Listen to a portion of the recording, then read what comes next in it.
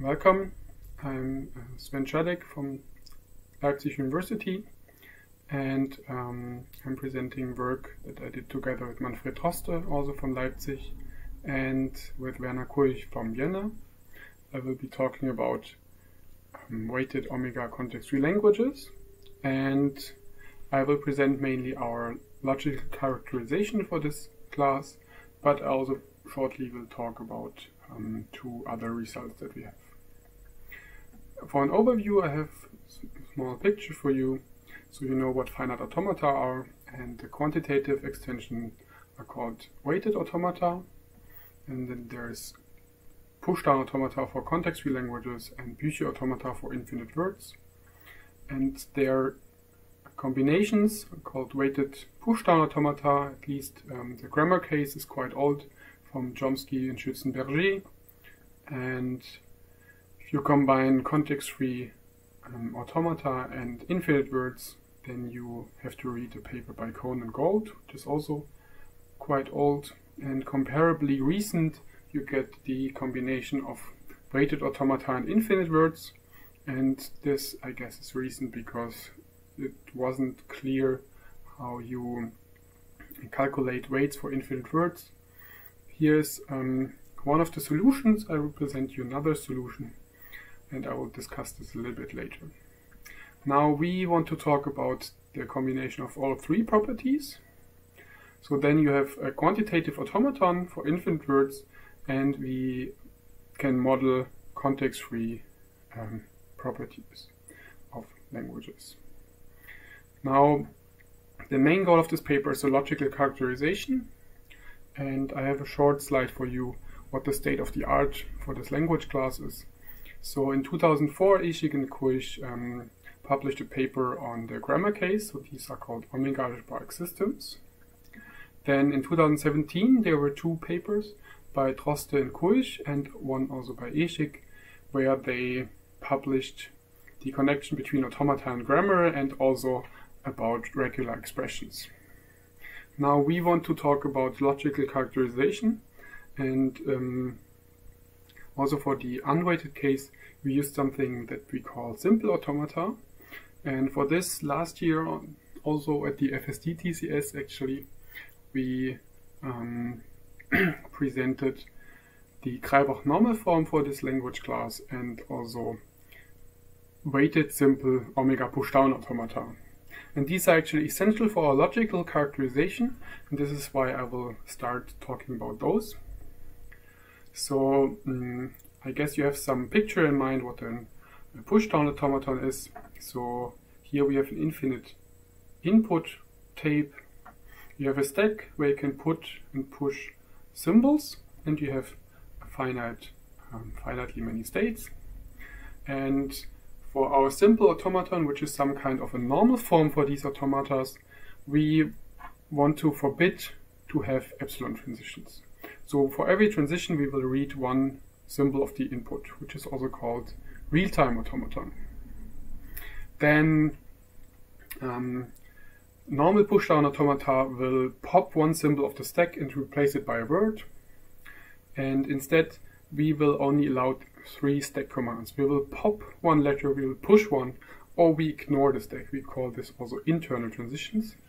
And um, this makes it actually much better for our logical characterization for the proof um, to work, but it has, I guess you can use this um, normal form also for other proofs. So I find it quite interesting that I haven't found much of it in the literature. Um, normal pushdown automata always in array transition um, react to the top of the stack symbol. We will just forbid this. Instead, only if you pop a letter A, then you know that it was there before. And um, we will not have an initial stack symbol, instead we will start with an empty stack. This automata occurred, um, as far as we know, only once in a class hidden by uh, hidden in a proof by Blass and Gurevich. And um, you can see that this one is also on nested words. We also use it in the combination with nested words.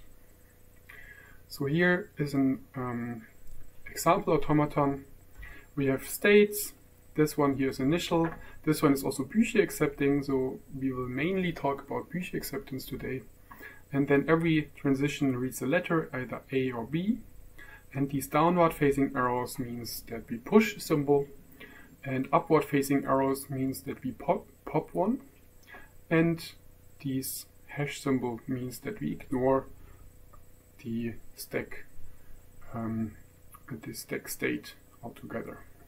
So here we could, for example, read A and then read another A and then we have only N on the stack. We would pop it here by reading B and read another B. Then you have A, A, B, B. And in total you actually have A, N, B, N and omega many of those because you always return to the state S here. Okay. So this is the unweighted case. And now let's see what um, weighted languages are. Just a short reminder for those who don't work with them um, all the time.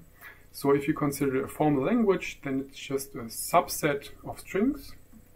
And we can view it from another angle, then you see that it's actually a function where you um, assign either true or false to your strings. And um, we want to generalize this. Don't take only boolean values to true and false, but take a set A. Then you get the series, which assigns to strings some weight out of your set A. Or similar, similarly, you can take infinite words and assign weights to it. So now, uh, what what weights can you use? What can you use for the set A? And there's different answers to this. Normally, I, I guess the most common answer is uh, use a semi-ring and then you multiply along the, along the run and you add up the weights of all runs. For infinite words, it's not so easy. Then you need complete semi-rings because you need to handle infinite products and infinite sums.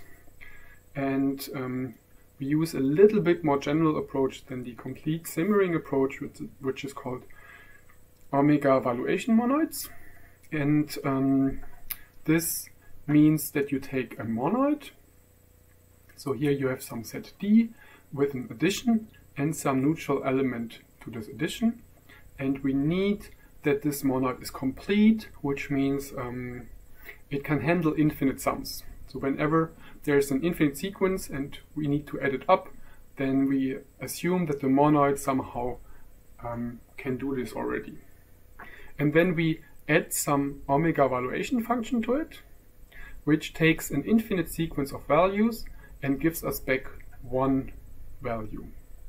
So um, this could, for example, take all the values and multiply them in a row.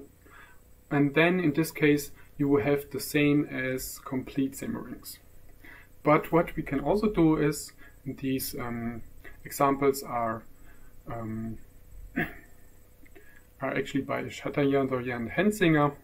You can take some real numbers with minus and plus infinity, and you take, can take the supremum as your addition, then you have minus infinity as the neutral element, and because this is idempotent, it's actually um, complete without any problem.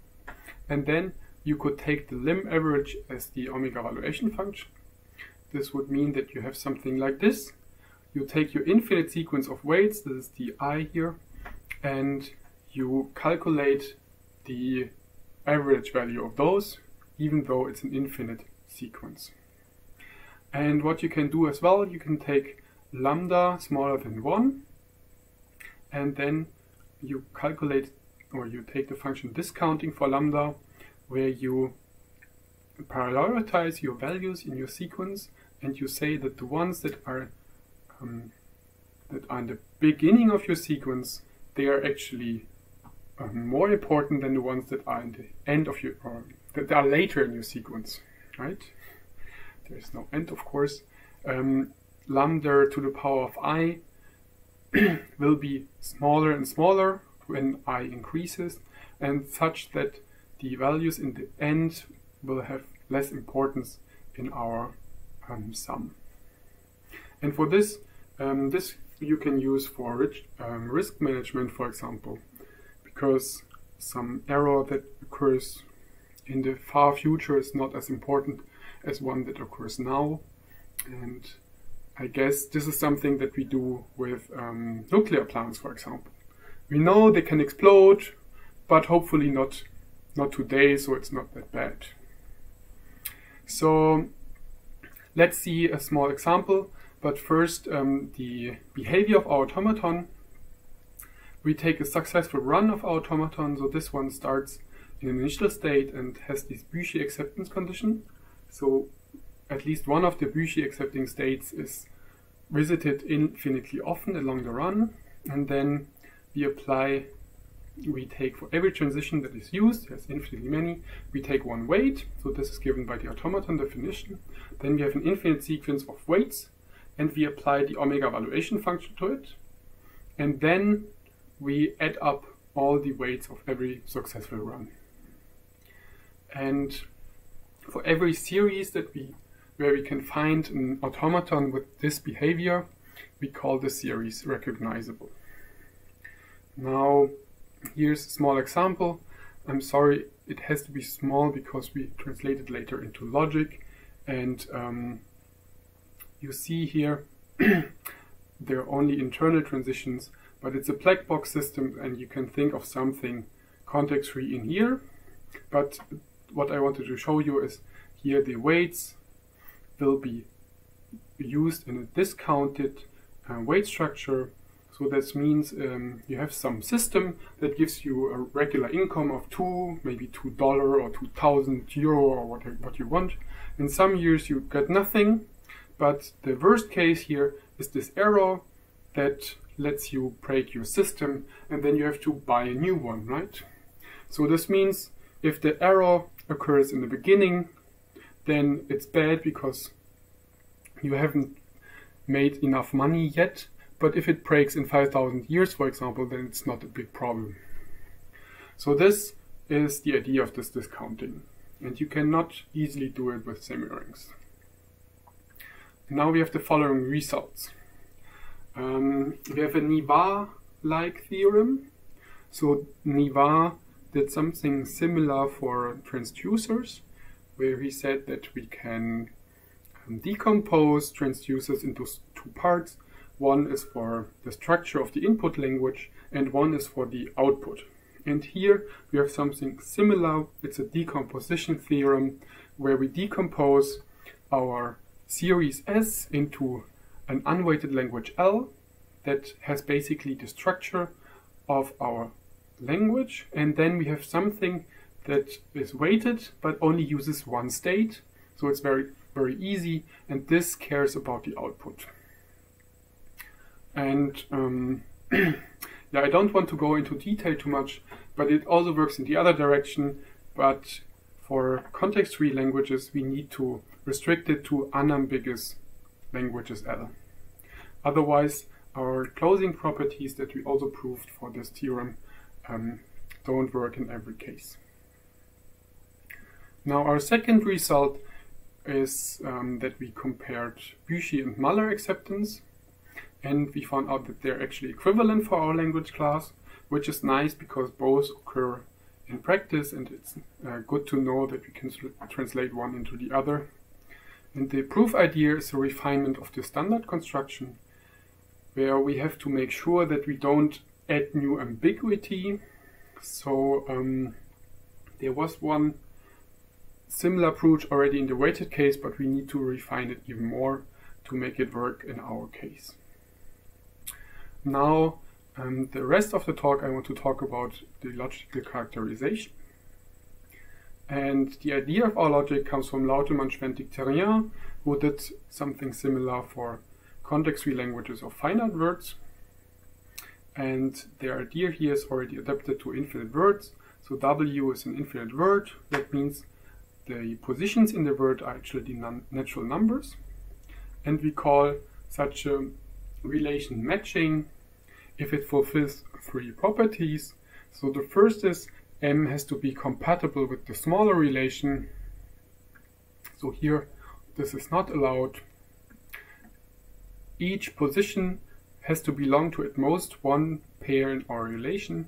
So again, here's a counterexample. And m has to be non-crossing. Okay, this is also not allowed. So in the end, you get something like this, and you can see if you know what Dyck languages are, for example, here's a bracket open, it's close, open, close, or maybe you can see it as a protocol of our push-down automaton, then you would push something here, and you would pop it here, you push something here, and you pop it here. So this is the idea, and maybe you could call it the essence of context-free languages, and it's also put into this logic. So now let's see what this logic looks like. So um, in classical MSO, this one is equivalent to regular languages. You have something like first order and monadic second order variables. So these are set variables and both will be used for positions in our word. And then we define our logic inductively by using those um, atoms and compounds. So we have at position x, there's symbol A. We can compare variables. One position is smaller than the other. You can see if a variable is part of a set variable, and you have these logical extensions. And now, of course, we extend it to um, accept context-free languages, and we do this by adding this variable mu, and mu is actually um, dyadic second order. So this means it's no longer, strictly speaking, it's no longer monadic second order logic, but instead this mu will be used like this, where you say mu x, ups, xy means that x and y will be matched later on. So now um, we need another layer because this mu occurs freely here. And what we do is we existentially quantify it here, then we have something from our first layer, and we say that mu is matching, which means that it fulfills the three properties that you've seen before. And this matching formula can actually be um, defined in our logic in our first layer. And we abbreviate it like this. There exists a matching mu such that beta holds. Now we extend it to make it weighted. And for this we need this omega valuation monoid. And in the paper we actually use a product omega valuation monoid. Then you also have a product. But here for the talk I guess it's easier to talk about um, the normal monoid that you've seen before. And then we have this here which is not in the paper but it works more or less similar. So what we have is we have some d which is some weight we can add something up, which is the addition of our monoid. And this here means that if beta from our first layer is true, then we have the weight of our first formula phi, and otherwise we have the second formula phi. Sorry. Um, we have existential quantification, which will also be added up. And then we have this val x, and this means that um, for every possible position of x, which is infinitely many, you will have one formula phi, you plug it in, then you get an infinite sequence of weights, and you feed it to the omega valuation function in our monoid. Okay, and then we extend also the last layer. We make a weighted matching logic, and um, here, if you look, this existential quantification will actually be replaced by a weighted existential quantification and this intersection will be replaced by this um, question mark colon operator or in the paper also by a product which I omit here for the presentation. And then we have something like a weighted uh, existential quantification. There exists a matching mu such that phi holds. I have a short example for you. This is the automaton that you've seen before. Now we can we can say if at position x there's the symbol income, then you would apply the weight 2. If there's recession, then it's 0, and otherwise it's minus uh, 1000 and in the other case it's minus infinity which just means it's the neutral element of our semiring, our monoid. Now along a run that is possible we would apply the omega valuation function and in the end we would add up over all possible matchings. So there's multiple matchings possible here and because we have the supremum here, it doesn't matter, we can just take one of them. But strictly speaking, you could also uh, forbid certain matchings, or you could say, okay, an empty matching should be used. But I think it's uh, complicated enough for the example. So this is um, the idea, and now we have the following result. Um, for an omega valuation monoid in the series, the following are equivalent. Mm, either S is, recognized, or S is recognizable if and only if um, there is an omega ML sentence, so this is the weighted matching logic, um, which, which defines exactly our series.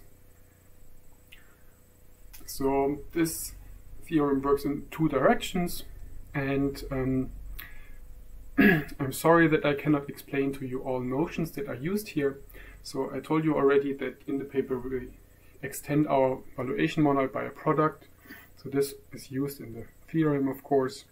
Then um, this regularity property is used such that we don't, we exclude some, let's say, academic omega valuation monoids that can break our theorem because then the um, logic gets um, yeah let's say it can break stuff but that is why we restrict to regular monoids and at the same time we need to restrict our form, um, our formulas even because um, also in the regular case unrestricted MSO is too hard in the weighted case, too strong in the weighted case.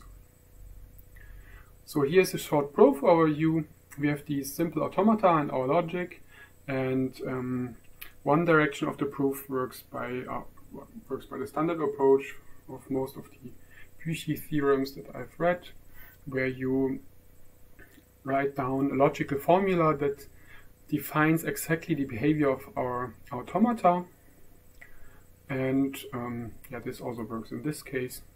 Now the other direction normally works by induction, but we can use a shortcut by reusing result from Droste and Dück in 2017, who did the same for some similar logic without the last layer.